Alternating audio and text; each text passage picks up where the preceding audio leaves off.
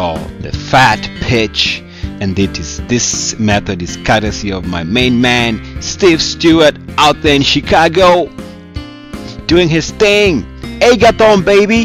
But anyway um so what we're gonna do is we're gonna see how we can use this method to find our way back into stocks that are being sold off especially um, when there's a scary situation like we have the subprime uh, you know mess going on right now. There's money to be made and we're gonna make it. I'm gonna show you how all right?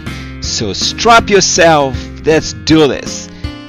Now always start with a two-year weekly chart and I'm gonna show you why. Because what you want is you want to find previous high flying stocks that are being sold off you don't want to go and find stocks that are beaten up and now they're being sold off again. You want to find former high flyers that are just going through a short-term correction okay? Very important. Get the best track the best stocks when they're when they're sold hard. That is when you should pay attention to them. And then the thing you want to watch for absolutely critical is you really want to pay attention to the RSI you don't want the RSI closing above or closing below 50 you want it to be around 50 and to move back up. That is an absolute minimum requirement. The stock must not on a weekly basis uh, close way below this 50 mark because this is where you know when you're above 50 you're bullish and then when you're below 50 you turn bearish. So we want stocks that are being sold off. They touch that line around there and they move back up. Now that is a must-have minimum requirement a lot of people have tried this method and they you know with, with some kind of you know limited success because they did not understand this. You want a high-flying stock being sold off but the stock refuses to turn into a bearish situation. Very important. That's the weekly. That's pretty much it on the weekly okay? So two year weekly make sure the RSI is above stays above above 50 let me take you to the daily. On the daily there's gonna be a lot of indicators here but they're all fun. I have them in bold so I don't have to repeat myself. You can always pause the play and you know uh, take notes if you have to. But well, we have a couple of indicators. We got the Williams percentage R the ULT indicator right there on the day again we are looking at a one year daily chart. We start with the weekly go with the day because we are looking for a short-term bounce. It is always best if you can find a stock that is around the 200 day moving average because this it's no secret man. Institutions just are in love with building their positions around this area. So the 200 day moving average is not a magical number. It's just something everybody's watching and it works. That's just how it is you know? Can't avoid it. So you find stocks are already testing that level. And um, another thing I think if you go back I might go back to the weekly chart and show you that the stock was also um, there was some support. I'm gonna show it here. Come on now Eric. All right. See that buy point there? Find for try and find support levels in the within the stock. You see when the stock broke out above that price this was the buy point and it's come back to retest that level. So not only do you have the 200 day moving average offering support you have support coming from a previous buy point which has now turned into a support level okay? Very important that you if you can find some other reasons why the stock should bounce. Uh, previous buy points turning into current support very important. So there was some indication even on the daily and you'll see it on the you might want to go back at the end of this uh, you know short video and check the weekly chart you'll see that there was some um, weekly support around this level here okay?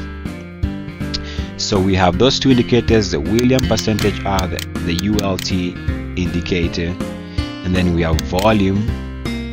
We have the RSI again on this on the requirements. We have the uh, full stall we have the slow stall and I think I might just have to scroll down my player here. And last but not least hey where is that stuff? We have the MACD right? Don't forget the normal MACD. That's what I was looking for. Okay so you want the all this to turn around. Turn around on the on the slow stow turn around on the full stow you want your uh, your RSI to hit 30 preferably bounce back. If you can find evidence prior in the chart like in this situation where there was a uh, the, where the stock hit a low and turned around below 30 you are probably that's another indication that the stock does pay attention to support oversold levels. So you want to see an area of, of a previous prior support around the 30 level on the on the daily RSI and support on the 30 level currently on the daily RSI um, you I always um, want the stock to start moving up on heavy volume. That's when you get your indication. Not only are these indicators turning around like here we are not ready but we are getting close to here we've already turned around and now we just need to continue moving higher. Below and this is below the 20 level area below the 20 level area on the full stow on the slow stow okay RSI above 30 you want that to start turning around. You want it to start you know it's below 30 and then you want it to do to do that.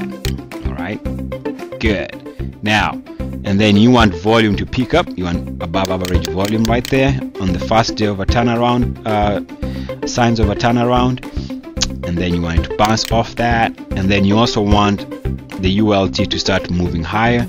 On this particular situation you see there was already some positive divergence here so you want this to hit a low probably around the 30 level area and move back up on that area in that region. And then you always want the William percentage R to hit under 80 an area of oversold and bouncing back up. So all this turn around and you're ready to go. In the next chart I'm gonna show you is an a day after the prior chart and this is what happened. You see bam turn around right there. Turn around uh, moving back up around the 50 level area on the ULT ultimate oscillator. Volume big spike in price. Again right here we see a big spike in volume. Like I said the RSI jumps above uh, you know 30 and moves back up. That's what you want the full stow finally does shows a huge uh, crossover and the slow stow shows a strong crossover. So that's what you want that's what you look for. You get in and you see what happens. Uh, let me see whether there's another chart I think there should be one more showing.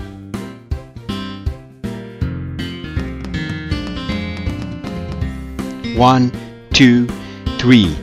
Take two. Action. Okay we are back again. Uh, so now uh, what I did I just fast forwarded the prior chart on the daily on the daily right there. So now we are looking at a chart you know six months ahead of um, where we were. This line right here that's going down is uh, showing us what where we what we were looking at in the before chart. So this is what happened. Within three months we were up 190 percent um, from that point there. Let's let me just take you down so we can see that you know we had our crossover um, RSI here high right there crossover there on the on the full stow and a crossover there. Also you notice that the MACD did finally turn around. So everything was aligned in this particular situation.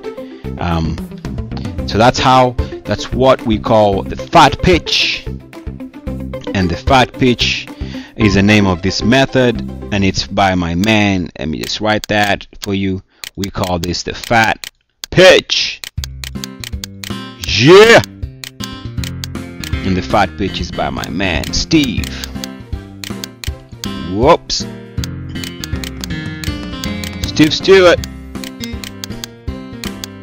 Alright big ups to you buddy. Thanks for sharing and for letting me use your method. I'm wishing you all the best. As always this is Eric Muathe. Hey Steve up in Chicago. Baby.